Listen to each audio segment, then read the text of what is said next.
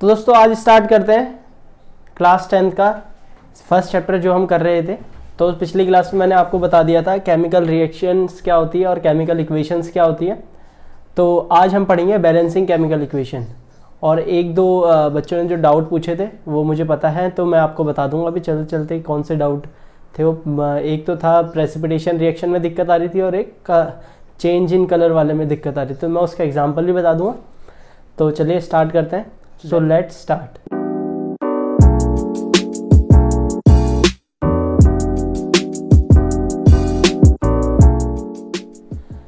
तो balancing chemical equation पढ़ने से पहले एक बार प्रेसिपिटेशन रिएक्शन दोबारा से सुन लो क्या होती है? प्रेसिपिटेशन का बनना जो पिछली बार बताया था वो क्या बताता है कि कहीं ना कहीं केमिकल रिएक्शन हुई है। तो प्रेसिपिटेशन में क्या होता है? प्रेसिपिटेशन मतलब होता है कोई भी इंसॉल्युबल सब्सटेंस बनता है जब कोई दो आपस में रिएक्ट करते हैं तो जो भी प्रोडक्ट हमारा बनेगा रिएक्टेंट जब आपस में रिएक्ट करते हैं तो जो भी हमारा प्रोडक्ट बनेगा तो वो प्रोडक्ट नीचे सेटल डाउन हो जाता है, घुलता, घुला हुआ नहीं रहता। तो मैंने जैसे एग्ज़ाम्पल बताया था ए का। ए एक सिल्वर नाइट्रेट जब कंपाउंड लेते हैं और उसे सोडियम क्लोराइड से रिएक्ट कराते हैं तो हमारा बनता है सोडियम नाइट्रेट Na और एक बनता है हमारा AgCl तो AgCl क्या है? इसका तो ये तो सॉल्यूशन में रहेगा। सॉल्यूशन के अंदर रहेगा और ए जी सी एल कहाँ बैठ जाएगा? नीचे सॉल्यूशन में। ए जी सी एल के क्या बन जाएँगे? प्रेसिपिटेट तो नीचे बैठ जाएँगे। तो इसी को कहते हैं प्रेसिपिटेशन रिएक्शन जिसमें जो हमारा प्रोडक्ट है, वो क्या हो जाता है? नीचे सेटल डाउन हो जाता है इंसॉल्यूबल होता है, वो घुला हुआ नहीं रहता। तो अगर ऐसा हो रहा है तो कहीं ना कहीं हमारी केमिकल रिएक्शन है। ऐसे ही अगर सेकेंड जो पूछा था कलर ऑफ़ सॉल्यूशन वाला, अगर कलर सॉल्यूशन का चेंज जब हमने दो चीज़ मिक्स करी है दो चीज़ रिएक्टेंट हमने मिक्स किए हैं। तो जो पहले कलर था रिएक्टेंट का, वो चेंज हो जाता है। दूसरे कलर में तो इसका मतलब कहीं ना कहीं केमिकल रिएक्शन हुई है। तो मैं एक एग्जांपल बता दूँ, जैसे F E S O four है। पिछली क्लास में जो एग्जांपल था, वो थोड़ा टिपिकल एग्जांपल था। अब जो एग्जांपल देख रहे हो F E S O four का, ये फेरस सल्फेट इसका कलर होता है हमारा ग्रीन ग्रीन कलर का सॉल्ट होता है ये। ग्रीन कलर का होता है। तो इस जब हम इसे थोड़ा सा हीट करते हैं क्या करते हैं? हीट करते हैं। तो एक केमिकल रिएक्शन होती है और ये टूट जाता है। टूट जाता है किसमें? F E two O three ये याद करने पड़ते हैं जैसे हम कहते हैं फेरिक ऑक्साइड या आयरन ऑक्साइड एफ़ ई किसको कहते हैं? आयरन को। फेरस सल्फे सल्फाइट वो सॉरी सल्फाइट और सल्फाइड सल्फ़र डाइऑक्साइड तो इसमें टूटता है SO2, SO3 और Fe2 O3 इसमें टूट जाता है। तो इसमें जो कलर आता है आपकी बार हमारा, वो हमें मिलता है red brown colour red brown जैसे ये जो जंक होता है ना, जो लोहे पे जंक लगता है, उस कलर का लगभग। तो पहले ये ग्रीन कलर का था। इसका कलर चेंज हो गया हीट करने पे कैसा हो गया? रेड ब्राउन हो गया, जो किसका, किसकी वजह से हुआ? Fe2O3 बना जो रिएक्टेंट रिएक्शन में। सल्फाइड और सल्फ़र डाइऑक्साइड हमारी गैस है, जो क्या हो जाएगी? ऊपर उठ जाएगी, गैस सॉल्यूशन में नहीं रहेगी और ये बचेगा जिसका कलर क्या रहेगा? हमारा रेड ब्राउन कलर रहेगा। जैसे जंग का कलर होता है जंग लगता है लोहे पे तो यही होता है Fe2O3 जो बन जाता है आयरन जो होता है Fe2O3 में कन्वर्ट हो जाता है। तो वैसे ही कलर का रेड ब्राउन होता है और ग्रीन जो हमारा होता है कंपोनेंट है, इसको, ये अगर इसको हम हीट करेंगे तो ये बन जाता है। तो ये क्या हुआ? जब कलर चेंज होगा तो इसका मतलब कहीं ना कहीं क्या हुई है? हमारी केमिकल रिएक्शन हुई है। तो ये दो थे जिसमें दिक्कत आ रही थी। तो अब हम स्टार्ट करते हैं balancing chemical equation balancing chemical equation तो इसमें कलर चेंज हुआ तो इसलिए हमें पता चला कि केमिकल रिएक्शन हुई है। ऐसी इसमें प्रेसिपिटेट बना तो हमें पता चला कि क्या क्या हुआ है? प्रेसिपिटेशन रिएक्शन हुई है। ऐसी अगर अब देखें हम बैलेंसिंग केमिकल इक्वेशन तो सबसे पहले बैलेंसिंग केमिकल इक्वेशन होता क्या है? तो बैलेंसिंग केमिकल इक्वेशन होता है और ज़रूरत क्यों पड़ती है बैलेंसिंग करने की किसी भी इक्वेशन को? जैसे मैंने आपको बताया कि एक एग्जांपल दे रहा हूँ मैं केमिकल रिएक्शन का। एक एग्जांपल दे रहा हूँ मैं आपको केमिकल रिएक्शन का H2 टू प्लस ओ क्या बनाया? H2O तो अगर हम इसमें देखेंगे, H क्या है हमारा? हाइड्रोजन O क्या है हमारा? ऑक्सीजन और ये क्या हमारा? वाटर जो इन दोनों से मिलके बना हुआ है। तो अगर हम इसमें देखें तो इधर की तरफ़ H कितने है? हाइड्रोजन दो। इधर ऑक्सीजन कितने हैं? दो। और इधर हाइड्रोजन ऑक्सीजन कितने हाइड्रोजन है दो। और ऑक्सीजन है हमारे एक। तो इधर आप देखोगे हाइड्रोजन दो है, इधर दो है, पर ऑक्सीजन इधर दो है, इधर एक है। तो हम बैलेंसिंग केमिकल इक्वेशन हम इसीलिए करते हैं कि ताकि हमारे जो एटम है, वो रिएक्टेंट में, ये क्या है हमारा? रिएक्टेंट और ये क्या है हमारा? प्रोडक्ट रिएक्टेंट और प्रोडक्ट में जब नंबर ऑफ़ एटम जितने भी नंबर ऑफ़ एटम है वो बराबर हो जाए तो इसका मतलब हमारे क्या हो जाएगी? ये बैलेंस हो जाएगी केमिकल इक्वेशन तो हम इसे बैलेंस करना सीखेंगे कैसे हम बैलेंस करते हैं? कैसे हम एटम को इधर दो है तो इधर दो बनाए और इधर ओ आ, दो है तो इधर भी दो बनाए. तो हाइड्रोजन तो इसमें बैलेंस है. बैलेंस और रखा है दो हाइड्रोजन दो हाइड्रोजन ऑक्सीजन दो है हमें ऑक्सीजन दो बनाने हैं. तो वो हम नंबरों की मदद से करते हैं। तो अभी हम देखेंगे तो बैलेंसिंग केमिकल इक्वेशन क्या होती है? बैलेंसिंग केमिकल इक्वेशन होती है equation equation in which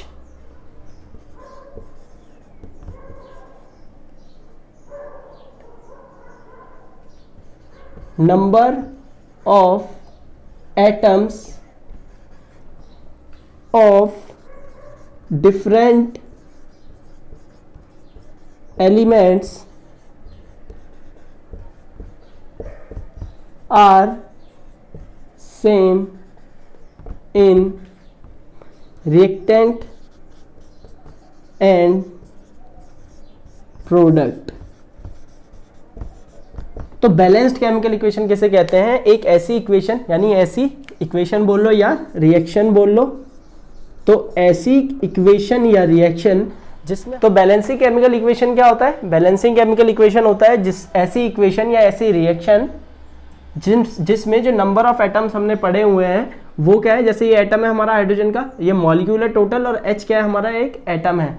और मैंने, मैं पहले ही बता रहा हूँ आपको, जो भी आप रिएक्शन लिखोगे, उसमें वो एग्जिस्ट जो हमारे एग्जिस्ट करता है वो मॉलिक्यूल उस फॉर्म में हमें लिखना है।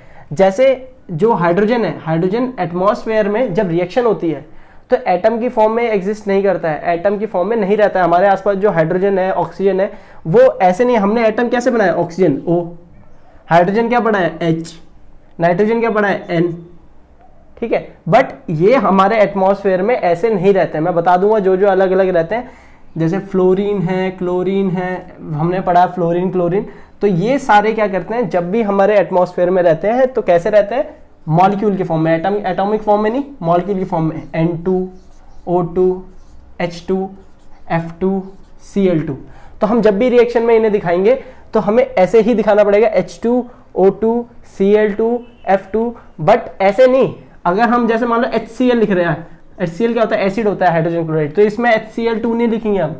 क्या लिखेंगे? एच सी एल ही लिखेंगे, क्योंकि आपकी बार ये क्या है? जुड़ा हुआ है हाइड्रोजन के साथ। बट जब भी ये हमारा अकेला रहेगा तो हम इसे मॉलिक्यूल की फॉर्म में लिखते हैं, क्योंकि एग्जिस्ट ही मॉलिक्यूल की फॉर्म में करता है ये एटम तो नाइट मॉलिक्यूल की फॉर्म में करेगा nitrogen N two oxygen O two hydrogen H two fluorine F two और क्लोरिन सी एल टू तो कभी भी आप लिखेंगे कहीं पे भी, अगर आपको बोल दिया जाए हाइड्रोजन लिखिए तो क्या लिखेंगे आप? H2 ऑक्सीजन लिखिए तो O2 तो रिएक्शन में क्या?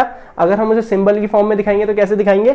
H2O2 Cl2 ये क्या है नाइट्रोजन ऑक्सीजन फ्लोरीन वो फ्लोरीन हाइड्रोजन क्लोरीन का मॉलिक्यूल नॉट एटम एटम नहीं है एटम क्या होता है? हाइड्रोजन का एटम बोलेंगे तो क्या है? एच ऑक्सीजन का एटम बोलेंगे तो क्या है? ओ ये क्या है? हमारे मॉलिक्यूल दो से मिलकर बने हैं। तो ऐसे ही हमारे ये केमिकल अगर आप कभी भी रिएक्शन लिखोगे तो उसमें क्या होनी चाहिए? अगर हम बोलेंगे कि बैलेंस्ड केमिकल इक्वेशन कब होगी? जब उसमें नंबर ऑफ़ एटम जो डिफरेंट एलिमेंट के नंबर ऑफ़ एटम है on both side are same in reactant and products यानी बहुत साइड जो भी रिएक्शन है उसके बहुत साइड रिएक्टेंट और प्रोडक्ट में उसके एटम क्या होने चाहिए? सेम होने चाहिए। तो इसलिए इसे हम कहते हैं बैलेंस केमिकल अभी ये बैलेंस केमिकल इक्वेशन नहीं है, क्योंकि इसमें हाइड्रोजन कितने हैं? दो। ऑक्सीजन कितने हैं? दो। इधर कितने हैं? दो और इधर ऑक्सीजन कितने हो रहे हैं? एक। तो हमें ऑक्सीजन को बैलेंस करना है तो उसको हम करना सीखेंगे कैसे हम एक इक्वेशन को बैलेंस करते हैं। अब ये तो था हमारा बैलेंस क्या बैलेंसिंग केमिकल इक्वेशन होती क्या है? करेंगे कैसे? अभी देखेंगे। बट बैलेंसिंग केमिकल इक्वेशन क्यों करी जाती है? क्यों करा जाता है किसी भी इक्वेशन को बैलेंस हम क्यों कर रहे हैं बैलेंस ऐसे भी तो रह सकता है। S two plus O two S two O C plus O two C O two ऐसे कोई भी रिएक्शन हो, वो वैसे डायरेक्ट लिख दो। तो बैलेंस करने की ज़रूरत क्यों पड़ती है? वो हम अभी देखेंगे कैसे क्यों हमें ज़रूरत पड़ी बैलेंस करने की इक्वेशन को। तो हमेशा याद रखना, जब भी आप रिएक्शन लिखोगे तो मॉल, जो जैसा एग्जिस्ट करता है, जैसा रहता है एटमॉस्फेयर में, जैसे हमें जैसा हमें मिलता है वो तो वैसे ही हम उसे लिखते हैं। अब ये तो हमारे मॉलिक्यूल है कंपाउंड आएँगे तो नाइन्थ में पढ़ रखा है कंपाउंड अगर केमिकल रिएक्शन में कंपाउंड सोडियम क्लोराइड लिखना है तो बताए sodium chloride N silver nitrate A sodium sulphate N कैसे आया वो सब? आपको पिछली क्लास में मैंने बताया था। तो आपको चार्ज याद करने हैं ताकि आप कंपाउंड लिख पाओ। तो ये क्या हो गया हमारी? ये रिएक्शन है। तो अब हम देखेंगे कि why balance chemical equation is done क्यों हम बैलेंस केमिकल इक्वेशन करते हैं इक्वेशन को बैलेंस करते हैं? तो इक्वेशन को बैलेंस इसलिए करा जाता है। आपने नाइन्थ में एक लॉ पढ़ा था। Law of conservation of mass law of conservation of mass हमें क्या बताता है? कि mass can neither be created mass can neither be created nor be destroyed कि जो हमारा मास होता है, वो हम क्या कहते हैं? मास को ना हम बना सकते हैं ना हम उसे खत्म कर सकते हैं। Mass can neither be created nor be destroyed तो इसीलिए हमें किसी भी इक्वेशन को बैलेंस करने की ज़रूरत पड़ी क्योंकि अगर मैं आपको S two plus O two S two जो अभी रिएक्शन लिखी थी उसमें बताऊँगा तो S two plus O two क्या बनाता है? एस टू बनाता है। तो अगर मैं इस रिएक्शन में बताऊँगा तो अगर मैं लिखूँगा एच और ओ एच कितने? रिएक्टेंट के साइड हमारे कितने एच दो। और रिएक्टेंट की साइड O कितने दो। और प्रोडक्ट की साइड हमारे एच कितने हैं? दो। और ऑक्सीजन कितने हैं हमारे? एक। तो हमें क्या करना है? हमें, हम क्यों करते हैं? मैंने बताया, क्यों हमें बराबर करना है रिएक्टेंट और प्रोडक्ट में एटम को? क्योंकि law of conservation of mass कि जितना हमने रिएक्टेंट लिया है प्रोडक्ट में भी हमें उतना ही मास मिलेगा। यानी जैसे मैंने अगर एक किलो आटा लिया है, उससे मैं रोटी बनाना चाहता हूँ तो जितना हमारा आटा होगा, उतने से ही रोटी बनेगी। ऐसा तो है नहीं कि आटा कहीं ना कहीं कम, जैसे अगर मैंने पाँच रोटियों के हिसाब से आटा लिया है तो रोटी भी पाँच ही बनेगी। क्योंकि हमने क्या मास्क अब आटा तो उड़ नहीं जाएगा, कुछ तो खत्म होगा नहीं। तो इसीलिए वैसे ही हमारे रिएक्शन में है कि अगर हम रिएक्टेंट लेंगे रिएक्टेंट हमारे जितने मास होगा, उतना ही प्रोडक्ट का आना चाहिए। जैसे मास हाइड्रोजन का, एक हाइड्रोजन का मास कितना होता है? हाइड्रोजन का मास कितना होता है? एक हाइड्रोजन के आइटम का एक। तो एच कितना हो जाएगा? दो। ऑक्सीजन का एक का कितना होता है? सिक्सटीन, दो का कितना हो जाएगा? Thirty two. ऐसी वाटर का एच का कितना होता है? एक, दो से मल्टीप्लाई करेंगे तो कितना हो जाएगा दो। ऑक्सीजन का सोलह प्लस करते कितना है? अट्ठारह तो अगर आप इधर देखोगे, इसमें कितना कितना आ रहा है? अट्ठारह ग्राम। इधर कितना आ रहा है? बत्तीस।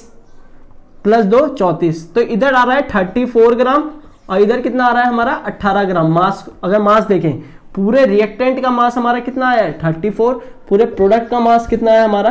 अट्ठारह तो ऐसा तो हो नहीं सकता क्योंकि हमें पता है कि law of conservation of mass क्या कहता है कि जितना हमने रिएक्टेंट लिया है, उतने प्रोडक्ट बनना चाहिए।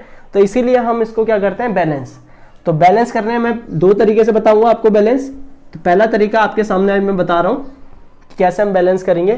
तो देखिए तो सीधी सी बात है, हमें करने क्या है? हमें करना है एटम का बैलेंस H दो है इधर ऑक्सीजन भी। ऐसे लिख लो, जितने जो जो एटम है, यहाँ पे लिख लो। हाइड्रोजन का एटम है ऑक्सीजन का एटम है। तो प्रोडक्ट में भी वही होंगे। ऐसा नहीं है, यहाँ पे आपके H और O आए तो इधर H O और नाइट्रोजन N भी आ जाएगा। ऐसा कुछ नहीं होगा। जो हमारे रिएक्टेंट है, जिससे हम कुछ बना रहे हैं तो जो बन रहा है तो उसमें भी तो वही चीज़ होंगी जिससे बना रहे हैं।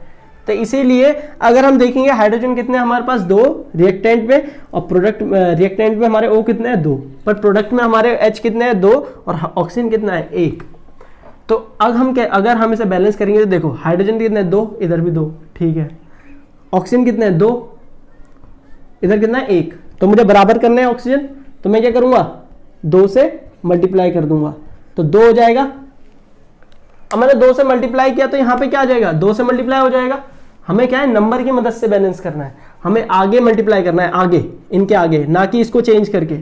इसकी जो एटोमिसिटी जिसे हम कहते हैं, उसको चेंज नहीं करना है। हमें क्या करना है? आगे मल्टीप्लाई करना है, इनके आगे।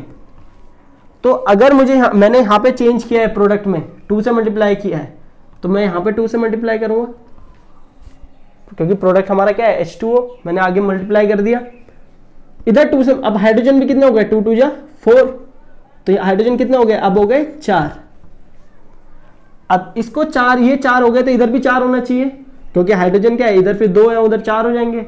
तो इसको भी चार करने के लिए मैंने किससे मल्टीप्लाई कर दिया? दो। तो दो से मल्टीप्लाई करेंगे तो आगे क्या आ जाएगा? दो। तो ये हमारी अब क्या हो चुकी है? बैलेंस हो चुकी है। कैसे किया? पहले हमें लिखना है कि कौन सा हमारा हाइड्रोजन कितने हैं? दो। ऑक्सीजन कितने हैं? दो। हाइड्रोजन कितने हैं? दो। ऑक्सीजन कितना है? एक। तो अगर हम इसे बैलेंस करना चाहें तो इधर तो एच पहले दो दो थे, सही था? ऑक्सीजन को हमने बैलेंस करने के लिए टू से मल्टीप्लाई किया। टू से मल्टीप्लाई करने की वजह से मुझे यहाँ पे टू टू आगे लगाया मैंने टू से मल्टीप्लाई करने के लिए। तो ऑक्सीजन तो दो हो गए बट अब हाइड्रोजन कितने हो गए? चार। तो हमने क्या किया? टू से मल्टीप्लाई कर दिया। वो सॉरी चार हो गए तो चार लिख दिया। अब यहाँ चार हो गए तो ऑक्सीजन हमें हाइड्रोजन क्या चाहिए? चार इधर भी चाहिए, चार जब हमें बैलेंस करना है तो। तो टू से मल्टीप्लाई किया तो हाइड्रोजन में क्या आ जाएगा? टू तो इधर भी चार एच चार एच दो ओ और टू इंटू ओ दो ओ यहाँ पे हो गए। तो हमें आगे मल्टीप्लाई करके बैलेंस करना है किसी भी इक्वेशन को। और जो आगे नंबर आ रहा है, इसे हम कहते हैं स्टोशियो सॉरी मैट्रिक को एफिशियंट तो याद रखने की ज़रूरत नहीं है वैसे। बस ये बोल, बोला जाता है स्टोशियोमेट्रिक ऑफिशियंट जो नंबर जिस नंबर से हम मल्टीप्लाई कर रहे हैं सारे, ये भी स्टोशियोमेट्रिक ऑफिशियंट है। ऑक्सीजन O2 के आगे का स्टोशियोमेट्रिक ऑफिशियंट क्या है? वन क्योंकि इसके आगे कुछ नहीं है तो क्या होता है? वन तो ये हमारी एक इक्वेशन थी, जो हमने बैलेंस की ऐसी मैं दो चार इक्वेशन बताऊँगा और ऐसे ही घर के लिए आपको काम करने के लिए दूँगा, जो दस बारह इक्वेशन जो भी होगी। तो ये हमारे ऐसे हम बैलेंस करेंगे। तो दो चार इक्वेशन और देखते हैं हम कैसे हम बैलेंस करेंगे। इसको जल्दी से लिख लीजिए। तो क्यों करते हैं बैलेंस इक्वेशन को? क्योंकि law of conservation of mass की वजह से हम क्या करते हैं? इक्वेशन को बैलेंस करते हैं। क्योंकि हमें पता है कि इक्वेशन ऑफ़ मास क्या कहता है? जितना हमारा रिएक्टेंट में है, उतना ही हमारा प्रोडक्ट में मास होना चाहिए। तो H2 अगर हमारा, अब देखो, अब अगर हम इसमें मास निकालेंगे तो क्या होगा? H कितने? चार टू टू जो फोर तो चार इसका एक का, एक एक हाइड्रोजन का एक होता है। तो चार का चार ऑक्सीजन का कितना हो जाएगा? बत्तीस तो कितना हो जाएगा? थर्टी एट इधर देखो, चार एच कितने हैं? चार तो चार हो गया। ऑक्सीजन कितने हैं? दो तो थर्टी टू कितना हो जाएगा? थर्टी सिक्स तो इधर भी कितना हो जाएगा? Thirty two plus four thirty six तो अब मास सेम हो गया। मास सेम हो गया तो इसका मतलब क्या है? कि law of conservation of mass पूरी तरह फॉलो कर रहा है, हमने इसे बैलेंस कर चुके हैं। तो बैलेंस करने, देखने का ये भी तरीका होता है कैसे हम देखेंगे। ऐसे अगला क्वेश्चन करते हैं, क्या होता है?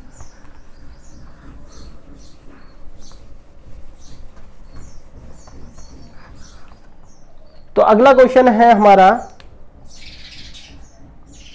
A L plus F E two O three ऐसे इक्वेशन मैंने दे दिया आपको। F E plus A L two O three ये रिएक्शन है इसको हमें क्या करना है? बैलेंस करना है। तो हमें क्या करना पड़ेगा सबसे पहले? सिंबल लिखना है जो जो हमारे हैं यहाँ पे। तो पहला क्या है? एल्यूमिनियम है। दूसरा क्या है? एफ़ भी है हमारा एटम और तीसरा क्या है? ऑक्सीजन भी हमारा एटम है। तो हमें हमें क्या करना है इन्हें? बैलेंस करना है। तो बैलेंस करने के लिए क्या करेंगे? पहले रिएक्टेंट के लिखेंगे? कितने कितने हैं? एल्यूमिनियम कितने हैं? तो एल्यूमिनियम कितने हैं हमारे? एक। एफ़ कितना है? दो। और ऑक्सीजन कितने हमारे? तीन। रिएक्टेंट्स में। और प्रोडक्ट्स में हमारे एल्यूमिनियम कितने हैं? एल्यूमिनियम हमारे दो। आयरन है कितने? दो। एक। और एफ़ ई है वो।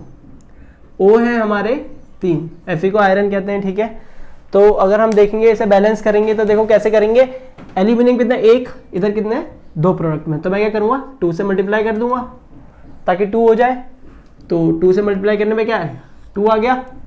तो टू से मल्टीप्लाई किया तो आगे यहाँ पे टू से मल्टीप्लाई किया तो यहाँ पे भी टू से करना पड़ेगा, सीधी सी बात है कि अगर हमने यहाँ पे टू से मल्टीप्लाई किया तो एल्यूमिनियम में दो बनाने के लिए आगे टू से मल्टीप्लाई कर दिया। अब दो दो हो गए, ठीक है? बट अगला देखो एफ़ e कितने है? दो। इधर क्या है? एक। तो क्या करूँगा? टू से मल्टीप्लाई करूँगा।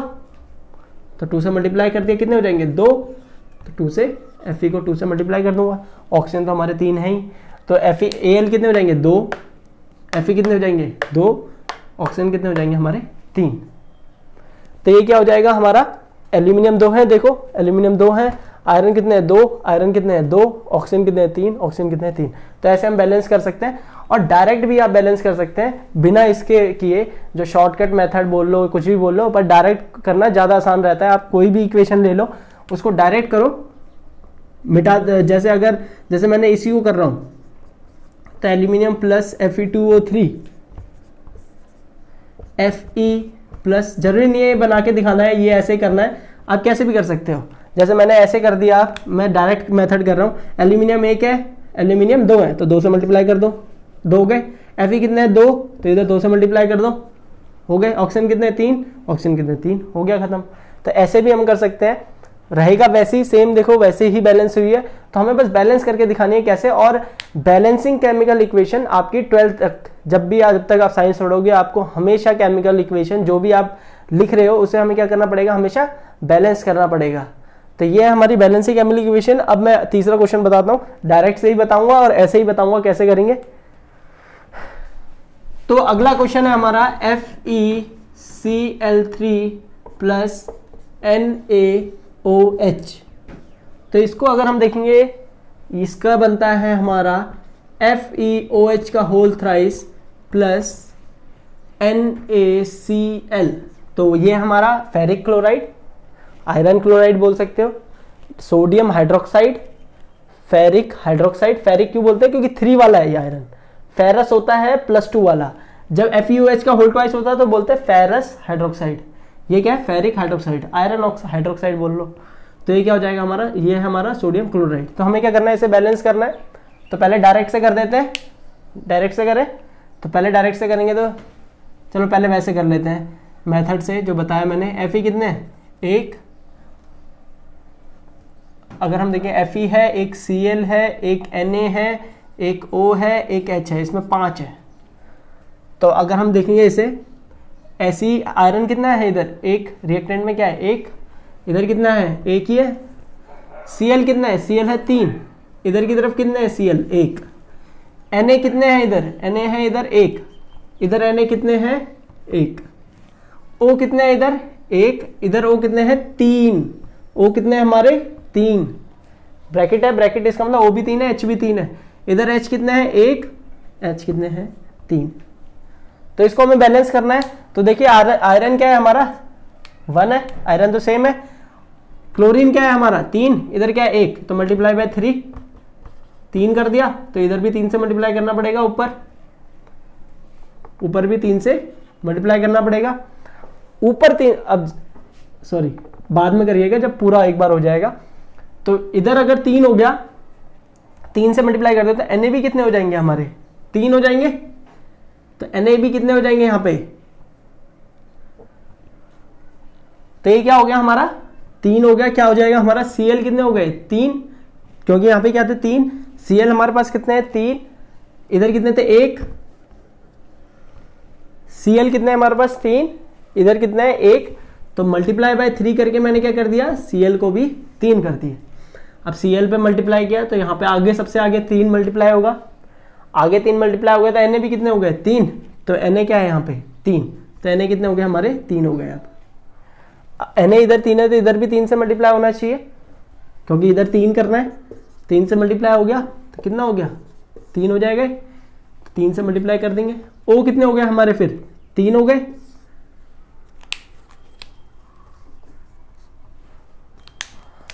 तो ओ कितने हो गए अब हमारे? क्योंकि यहाँ तीन से मल्टीप्लाई किया, ओ कितने हो गए हमारे? तीन हो गए। एच कितने हो गए हमारे? तीन हो गए। तो ओवरऑल देखेंगे तो ये इक्वेशन बैलेंस हो चुकी है, क्योंकि आयरन कितना है? एक सीएल है? हमारे तीन तीन सोडियम में तीन तीन ऑक्सीजन भी तीन तीन और हाइड्रोजन भी तीन तीन। तो देखेंगे तो एफ़ एक एक सी एल कितने तीन तीन एन है तीन तीन ओ है तीन एच भी तीन ओ तीन एच भी तीन। तो ऐसे हम बैलेंस कर देंगे इस इक्वेशन को। डायरेक्ट मेथड भी हमारे पास है। डायरेक्ट मेथड से कैसे करेंगे? F A C L three plus N A H इसमें आपका टाइम ज़्यादा लगेगा। डायरेक्ट मेथड में जल्दी भी हो जाएगा। एन ए सी एल कैसे? तो ये।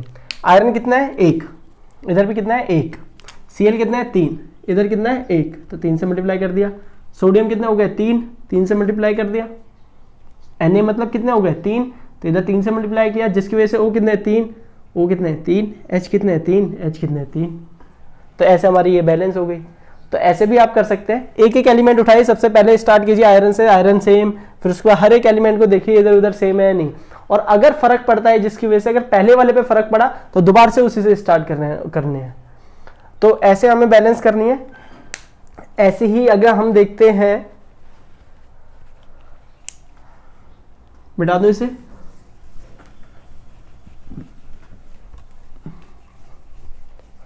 ऐसी अगली केमिकल रिएक्शन जिसे हमें बैलेंस करना है, हमेशा हर केमिकल इक्वेशन को बैलेंस करना पड़ेगा। N two plus H two N H three इसको हम क्या करेंगे? बैलेंस करेंगे। चलो इसको आप करना बैलेंस अगला करते हैं। सिंपल है इसको बैलेंस करना। ऐसे अगला देखते हैं हम N H three plus O two NO2 plus H two O तो अगर हम इसे डायरेक्ट मेथड से देखेंगे तो N कितना है? एक, इधर कितना है? एक, H कितने हैं? तीन, H कितने हैं? दो। अब H यहाँ पे तीन है, H यहाँ पे दो है। अगर मुझे H को सेम करना है तो मैं क्या करूँगा? इधर तीन से मल्टीप्लाई इधर दो से मल्टीप्लाई ताकि छह छह हो जाए। H को अगर मुझे सेम करना है, इधर तीन थे, इधर दो थे तो मैंने तीन से किया इधर दो से किया, ताकि छः छः हो जाए। तो एच हो गए छः बट इसकी वजह से एन कितने हो गए? दो। तो मुझे दो से क्या करना पड़ा एन को? मल्टीप्लाई अब एन दो हो गए। एन कितने हैं? दो। एच कितने हैं? टू थ्री जा सिक्स टू थ्री जा थ्री टू जा सिक्स ओ कितने हैं? दो। इधर कितने टू टू जा फोर प्लस सेवन वो फोर प्लस थ्री यानी सेवन ओ कितने हैं टोटल सेवन तो इधर कितने हैं? दो। अब मुझे सेवन करना है। तो अगर मैं सेवन बाई टू से मल्टीप्लाई कर दूँ सेवन बाई टू से मल्टीप्लाई किया तो क्या हो जाएँगे? टू से टू कर जाएगा, क्या आ जाएगा? सेवन तो वही चीज़ है कि सेवन टू ये है क्या हम करते क्या? इससे इसको मल्टीप्लाई करते हैं सेवन बाई टू को मल्टीप्लाई करोगे टू से क्या हो जाएगा? सेवन तो ऐसे हम बैलेंस करेंगे इस केमिकल इक्वेशन को डायरेक्टली अगर हम इसे उस मेथड से करें तो इसको मैं मिटा देता हूँ आगे।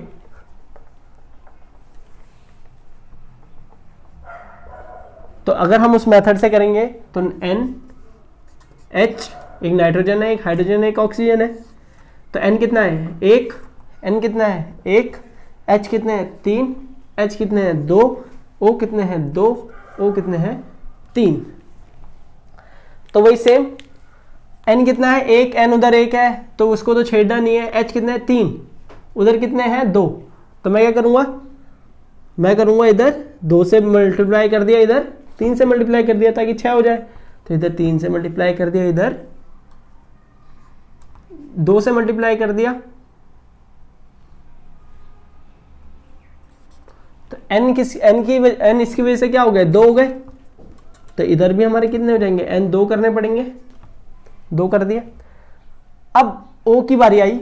ओ में भी चेंज आया इधर, क्योंकि ओ अब कितने हो गए? वो हमारे हो गए थ्री वन ये हो गए सेवन तो मुझे सेवन बनाना है तो मैं क्या करूँगा? सेवन बाई टू से मल्टीप्लाई कितना आ जाएगा? सेवन तो ये हमारा सेवन बाई टू हो गया। तो बैलेंस वैसे ही सेम हुई है जैसे हमारी पिछली वाली में हुई थी। तो बैलेंसिंग केमिकल इक्वेशन बहुत आसान है। चाहे आप डायरेक्ट करते हो, चाहे आप ऐसे करते हो डायरेक्ट करना बहुत आसान है। डायरेक्ट में क्या करना है? आपको देखना नहीं है बार बार ये बनाना नहीं है। इसमें आपको क्या है? देखना है पहले कि क्या क्या चीज़ें हमें लिखनी है, फिर उसके बाद मल्टीप्लाई करना है। जे, अगर इस पर चेंज हुआ है, अगर हमने आगे मल्टीप्लाई किया तो एन तो चेंज हो ही है साथ साथ ओ भी चेंज होंगे। ऐसे ही अगला क्वेश्चन है हमारा। तो ऊपर वाला क्वेश्चन करना है N two plus S two plus N S three बना रहा है सिंपल क्वेश्चन है। इसलिए मैंने अभी नहीं कराया। M N O two plus H C L बनाता है हमारा। M N C L two plus C L two plus H two O ये हमारी रिएक्शन है इसको हमें बैलेंस करना है। M N O two plus S C L M N C L two plus C L two plus S two O ये हमारी reaction है। तो एम एन कितना है? एक। एम एन कितना है? एक। ओ कितना है? दो। ओ कितना है? एक। तो दो से मल्टीप्लाई कर देंगे ताकि ओ कितने हो जाए हमारे? दो। एच कितना है हमारा? एक। इधर कितना है हमारे? चार। तो चार से मल्टीप्लाई कर दिया ताकि एच कितने हो जाए? चार। सी एल कितने हो जाएँगे अब हमारे? चार। इधर कितने हैं? दो और दो। चार। तो बैलेंस हो गई है तो हमने कुछ नहीं किया। सबसे पहले एम को देखा। एम एन एक है। ओ कितने हैं? दो। ओ कितने हैं? दो से मल्टीप्लाई किया ताकि दो हो जाए। हाइड्रोजन को देखा। देखो अगर हम हमें करना है स्टार्ट पहले वाले एलिमेंट से। पहले वाले एलिमेंट से स्टार्ट करो। पहले वाले एलिमेंट से स्टार्ट करने पे दू, फिर दूसरे को करो फिर तीसरे को फिर चौथे को। अगर हम तीसरे को करते वक्त जैसे मैंने इसे एच को जब मैंने ओ को देखा तो ओ को बैलेंस करने टू टू से मल्टीप्लाई किया। तो हाइड्रोजन की हाइड्रोजन चेंज हुए, पर हमें उससे अभी कोई फ़र्क नहीं पड़ता क्योंकि हम हाइड्रोजन पे गए नहीं है। बट अगर उसकी वजह से एमएन पे फ़र्क पड़ जाता तो हमें दोबारा से एम पे मल्टीप्लाई करके एमएन को सेम करना पड़ता। तो थोड़ा दिमाग लगाना है कि जब भी हम केमिकल रिएक्शन कर रहे हैं, पहला एलिमेंट लो, पहले एलिमेंट के बाद दूसरे पे जाओ, तीसरे पे जाओ। अगर उसकी वजह से आगे वाले चेंज होते हैं, फिर आगे वाले दोबारा से करने पड़ेंगे बैलेंस तो ये हमारे डायरेक्ट मेथड में चलेगा। ऐसे ही अगर हम इसे करेंगे इनडायरेक्ट मेथड से, जैसा ही बताया तो कैसे करेंगे? एम एन कितने हैं हमारे? ओ कितने हमारे? एच कितने हमारे? सी एल कितने हमारे? तो एम एन कितना है? एक। ओ कितने हमारे? दो। एच कितने हमारा? एक। सी एल कितना हमारा? एक। इधर एम एन है एक ओ है हमारा एक एच है हमारा दो एच है हमारे दो, और सी एल है हमारे दो दो, चार। तो एम एन कितने थे हमारे? एम एन है हमारा एक एक। तो ये तो बैलेंस है, पहले से ही। ऑक्सीजन है दो। इधर दो से मल्टीप्लाई करना पड़ेगा। तो दो से मल्टीप्लाई कर दिया, ठीक है? दो से मल्टीप्लाई किया तो एच कितने हो गए हमारे? चार। तो इधर एच कितने हो गए हमारे? चार हो चुके हैं। एच हो गए चार। तो चार बनाने के लिए मुझे चार से मल्टीप्लाई करना पड़ेगा। चार से मल्टीप्लाई किया तो ये कितने हो गए? चार। इसकी वजह से सी एल चार हो गए तो इसको मैं क्या कर दूँगा? चार हो गए अब तो। तो ये भी चार, ये भी चार, ये चार ये चार, ये दो ये दो, ये एक ये एक। तो ऐसे हमें बैलेंस करना है किसी भी केमिकल इक्वेशन को। ऐसे ही मैं लास्ट क्वेश्चन कराता हूँ। फिर उसके बाद मैं क्वेश्चन एक लिखे होंगे यहाँ पे क्वेश्चन जो सारे आपको घर से करना है, जितने भी क्वेश्चन यहाँ पे हैं। फिर अगर किसी को दिक्कत आती है तो मैं वन टू थ्री फोर मैंने नाम दे रखा होगा। उसको कमेंट में वो नंबर लिख देना है। वन टू थ्री फोर मुझे ये वाला समझ नहीं आया तो मैं वाला बता दूँगा अगली क्लास में। तो अगला क्वेश्चन है हमारा।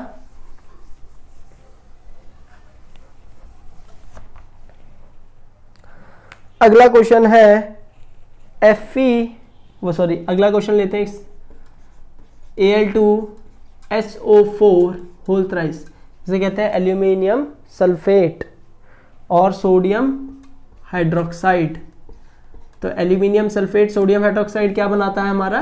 एल्यूमिनियम हाइड्रोक्साइड और sodium sulphate N A two S O four तो ये हमारी एक रिएक्शन है। टाइप ऑफ़ रिएक्शन हम पढ़ेंगे, अगली क्लास से स्टार्ट करेंगे टाइप ऑफ़ रिएक्शन उसमें आपको पता चलेगी जितने भी रिएक्शन बन रही है, इनका नाम क्या होता है, इनको किस नाम से बोला जाता है इन रिएक्शंस को। तो अगर हम देखेंगे तो ए कितना है?